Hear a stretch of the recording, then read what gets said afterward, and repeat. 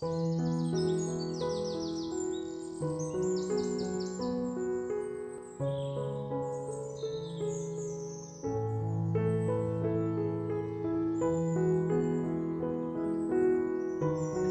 ដាវមានសម្បុរថ្នោតស្រអាប់ឬថ្នោតភ្លឺអាស្រ័យទៅតាមមជ្ឈដ្ឋានដែលវារស់នៅនិងមានរូបរាងប្រហាក់ប្រហែលទៅនឹងសត្វឆ្មាដែរ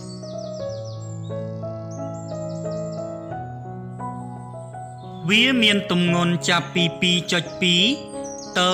7.5គីឡូក្រាម និងមានប្រវែងពី46ទៅ65សង់ទីម៉ែត្រឆ្មាដាវ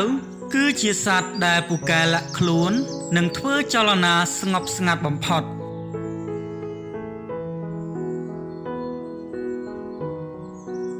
វាជាសត្វស្លូត និងមិនកាយសាហាវដាក់មនុស្សទេ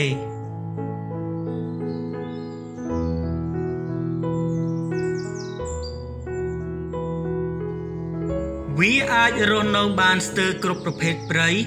ហើយជាធម្មតាវាសំងំដេកនៅលើដើមឈើឬក្នុងរូង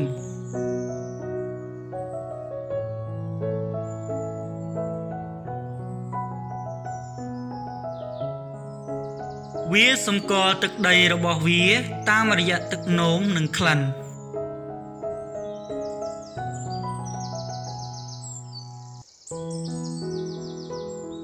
វាជាសត្វរហ័សរហួន និងជំនាញក្នុងការឡើងដើមឈើហើយពូកែហែលទឹកផងដែរវាអាចចាប់ចំណីបាន ដោយលោតសង្គ្រប់ពីលើ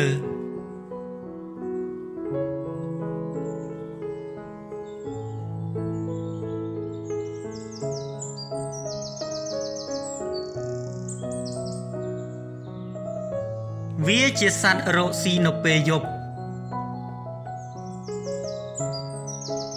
ចំណីរបស់វារួមមាន បាក់សី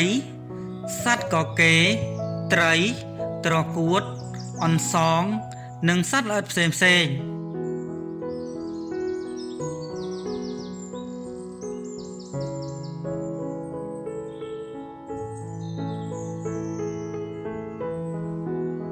វាបន្តពូជបានពេញមួយឆ្នាំ ហើយរយៈពេលពោពុះពី65ទៅ72ថ្ងៃនិងអាចមានកូនម្ដង ពី1ក្បាលទៅ4ក្បាល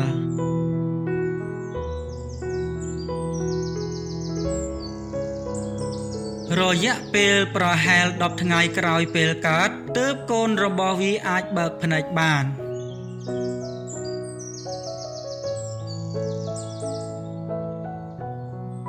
ឆ្មាដាវពេញវ័យនៅអាយុ18ខែ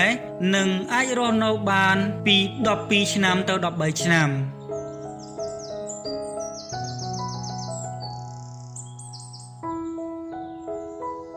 ឆ្មាដាវជាប្រភេទសត្វមានដោយបង្គួរ